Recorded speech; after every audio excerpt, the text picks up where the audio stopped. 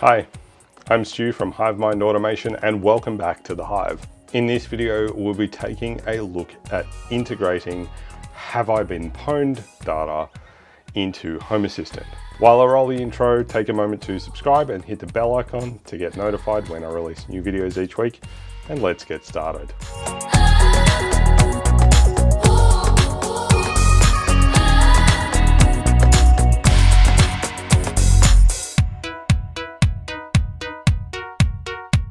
If you haven't heard of Have I Been Pwned, it is a fantastic resource for finding out if your information has been compromised in a data leak from a website or other online service that you're subscribed to. Have I Been Pwned was started by Troy Hunt, a Microsoft Regional Director, MVP, and information security blogger and YouTuber who's also got some home automation content on his blog and on his YouTube channel.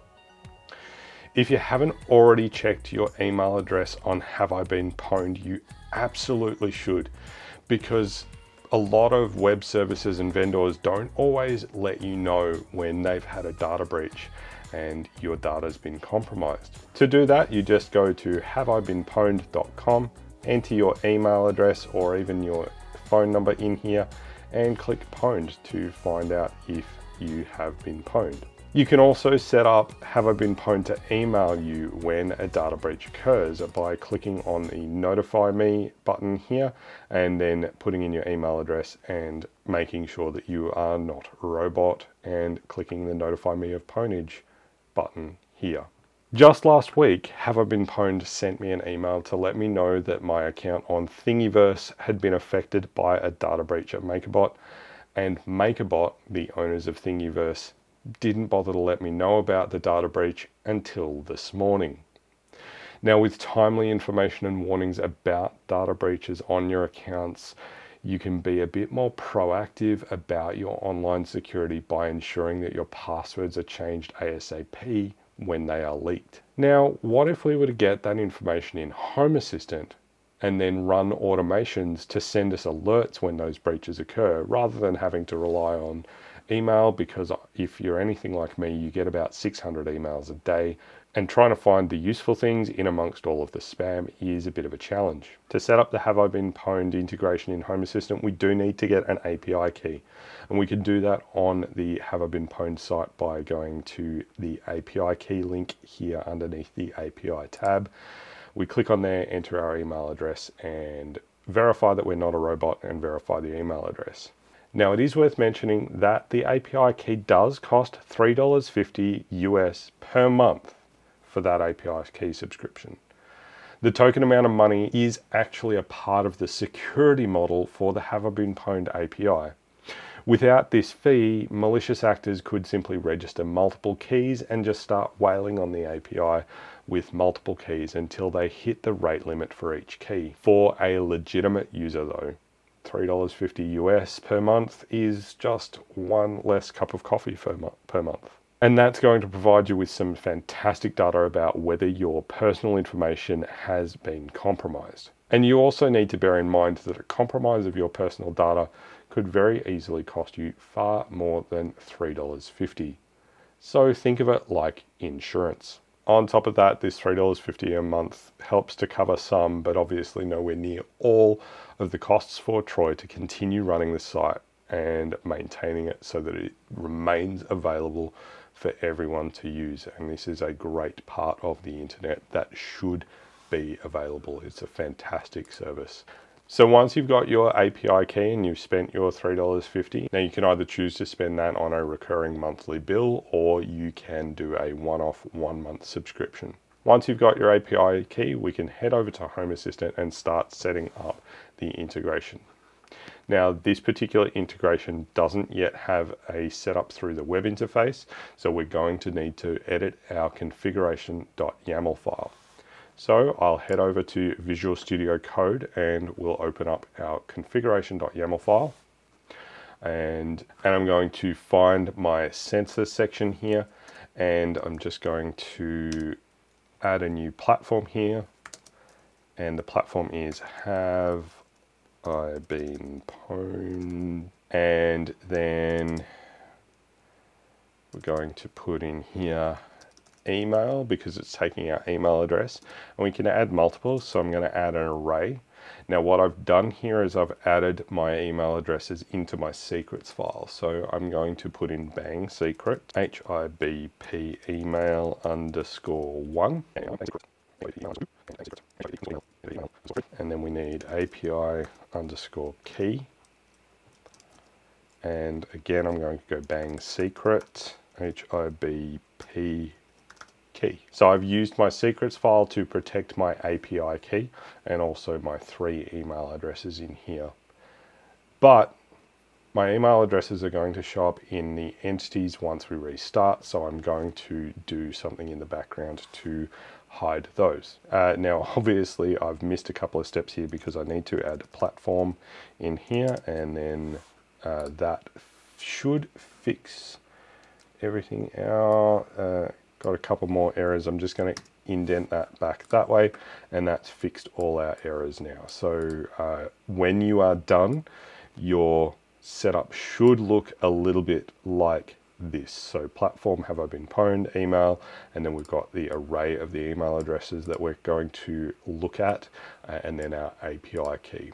Personally, I would recommend that you put any email addresses and uh, API keys into your secrets file to keep those uh, separate from your main configuration.yaml file. So now that we've added that configuration to our configuration.yaml, we're going to head over to our configuration menu, going to scroll down to server controls and we're going to check our configuration because we've modified the configuration.yaml file.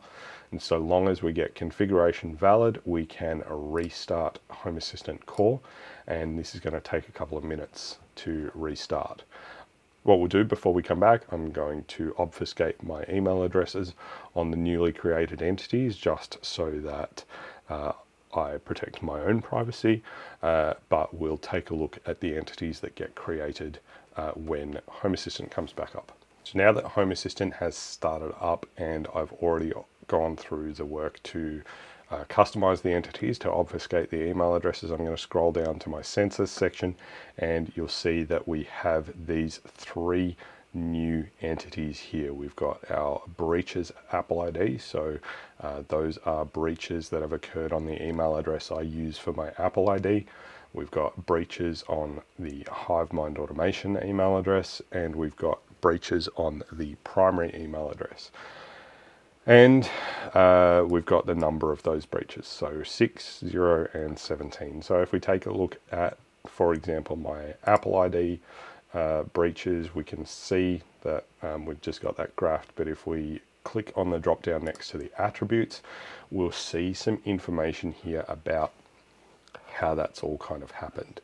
So as you can see, we've got some pretty reasonable data about the data breaches that we've got, but we're going to take this a step further and we're going to create an automation based on these sensors. So if we go to configuration and we'll go to automations and I'm going to click add automation and start with an empty automation. And I'm just going to call this one alert have I been pwned? So we've given it a name so uh, a single trigger mode is fine. Our trigger type we're going to select state and for our entity we can select uh, breaches and I'm just going to use my primary email address here. So we don't actually need any of the from or to. Anytime the state of this sensor changes, uh, that's going to trigger the automation. Uh, so we will scroll down uh, and we can add conditions if we want. Uh, I'm not going to worry about adding a condition, uh, but we're going to, in our actions, we're going to call a service and the service that we want is notify and we're going to notify.notify .notify, and we'll scroll down and we'll put title critical alert and message. Have I been pwned reports that you have indeed been pwned. Check the data immediately and take appropriate action. Uh, and we can leave the target alone and the data alone. We don't need to worry about that. We would probably maybe want to make this a critical alert type, uh, but I'm not going to worry about that right now. I'm just going to save that automation. And what I'm going to do to try and trigger that manually is I'm going to go to my developer tools and I'm going to go to breaches. And to select my primary email address here and I'm going to change the state to 18 and I'm going to click set state. I have indeed received an alert on my iPad that I have been breached. So now anytime the value of breaches changes, we should receive that push notification on our iPad or any other device that is linked into Home Assistant using the Home Assistant mobile app. So as you can see, Have I Been Pwned is a fantastic service to give you far more insight into the security of your digital life.